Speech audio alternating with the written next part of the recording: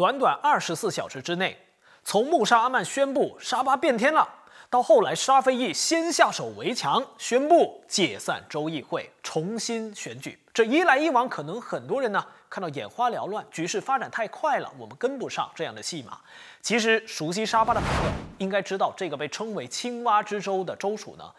这一件事其实只是剧本重新演绎。主角、配角换人来演而已。在沙巴历史上，州政府就有过两次因为州议员跳槽倒台或者解散州议会的经典案例，一次是上个世纪的八十年代，一次是九十年代，都是青蛙跳槽导致州政权变天，而且都跟一个人有关，就是被誉为沙巴卡达山民族英雄的。拜林基定案，他都是那个时候的州首席部长。呃，题外话说一下，拜林他也是沙巴历史上第二位担任首长的天主教徒。好，话说一九八五年的时候，拜林率领的团结党才刚成立四十七天，他们就参加了当年的沙巴选举，然后就缔造了奇迹，成功推翻国阵的人民党。虽然那个时候拜林成功了，当了政府啊，拿了政权，可是那个时候是二十五对二十三。那个数目太接近了，之后就一直有传言说，哎，有的议员被收买了，要跳了，随时政府要倒台了，然后才执政短短一年的时间，团结党呢果然有议员就开始蠢蠢欲动，要青蛙跳，眼看这个政权呐应该保不住了，所以拜林呢就立马去觐见周元首，宣布。我们就解散州议会，是不是跟现在很像？就是这样的情况，也那个时候也是重新选举。然后在一九八六年的这一场闪电选举当中呢，选民除了教训了政治青蛙，也教训了收买青蛙议员的政党。最后，拜林的团结党在当年呢就大胜，那个时候拿下了四十八个州议席，当中他拿了三十四个议席。那由由于当时候他不是中央政府国政执政党的这个成员党，所以虽然他赢了，但是拜林的州政府呢就一直受到各种各样的这个为难。结果后来团结党呢就只有加入国政了。那加入之后呢，才出现了一段稳定的一个政治局面。那那是第一次传出政治青蛙集体要跳，然后州政权很危险，拜林抢先解散州议会，夺回了政权。那第一次。好，我们再聊第二次。第二次青蛙跳又是怎样的情况呢？第二次青蛙集体跳是在一九九四年，故事的情节呢，应该说充满了当时的首相马哈迪和他领导的乌统的复仇的基因。因为拜林的团结党，因为说他们加入国政嘛，对不对？好，他们在一九九零年全国大选当中呢，又突然宣布退出国政了，是不是有点乱？没关系，习惯就好。沙巴就是这样，退出了。好，退出，他们去支持。跟马哈迪还有武统打对台的东姑拉沙里，那个时候的四六精神党，然后就让那个时候的马哈迪，那个时候马哈迪还是首相啊，非常生气，勃然大怒，就说你这个拜林背后插刀啊，就要教训一下他。然后武统呢就开始东渡到沙巴去，然后武统就跟当地的反对党联手来对抗拜林的团结党，一定要把这个政权给拿回来。直到一九九四年州选举，拜林领导的团结党以二十五席对国政的二十三席又来了，又是差一点点，他执政了。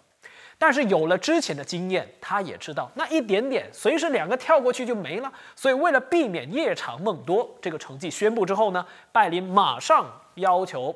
周元首让他宣誓就任沙巴首长。但是当时周元首府大门深锁。不让他进去，而坊间那个时候呢，又是谣言四起，说乌统为首的国政立刻在游说要拉拢议员了。而拜林为了避免议员当中有人被收买跳槽，他还把二十四个议员关在车里，不准他们离开，一起等到周元首开门。后来等了三十六个小时之后，拜林最后苦守成功，顺利宣誓就任沙巴首长。是不是觉得可以拍电视剧呢？很可惜的是呢，这一次执政的时间更短，才二十四天，就有三个团结党的州议员宣布他们要跳槽去国国政国政，然后他眼看就要倒台了，没辙了，所以拜林又想，好了，我们又解散州议会，再来一场州选举。可是这一次，州元首 say no，拒绝了。之后，拜林就众叛亲离，然后团结党呢，就一个一个议员接着一个就跳槽或另组新的政党，就连和他一起打江山、血脉相连的亲弟弟杰菲里基丁案，也就是现在的旅游呃艺术及文化部副部长，那时候也宣布退出团结党。就这样，拜林的团结党从二十五名州议员。跳啊跳啊跳，跳到剩五个州议员，真是情何以堪呐！而拜林最后呢，也只能被逼辞去首席部长的职位，把政权呢交了给国珍。相隔几十年之后，现在大家是不是感觉又上演同样的戏码了？而现在跳到穆沙阿曼阵营的十多位议员当中，绝大部分也是早前从穆沙阿曼阵营跳过去民兴党的。其实沙巴州为了防止政治青蛙乱乱跳，动不动就让政权垮台。当时候的团结党州政府呢，曾经试图通过反跳槽法令，凡是那些跳槽的议员呢，会自动丧失州议席，另外补选。但是结果呢，白费心机，因为法院最终呢判沙巴通过的这个反跳槽法令违反宪法，无效。另外呢，他还设立了沙巴独有的官委州议员制度。刚刚也提到了这个制度呢。嗯，在这个制度底下，州元首有权在州内阁建议之下委任六名官委州议员，拥有与民选州议员一样的权利。这个官委的州议员制度呢，在过去这些年来，成为了执政政府巩固政权的一个手段。因为他一当了政府，他委任多六个进来，他就多了很多人，他就不怕差一点点丢政权。你可以再委任六个，因为是自己委任的，应该是忠心，不容易跳，对吧？但讽讽刺的是什么呢？这一次沙菲义政权里头，他委任的就是他建议周元首委任的其中两个官委州议员就跳了。而这一次的事件呢，又为沙巴这个青蛙之州再记上一次州政权因为青蛙跳而垮台的经典案例。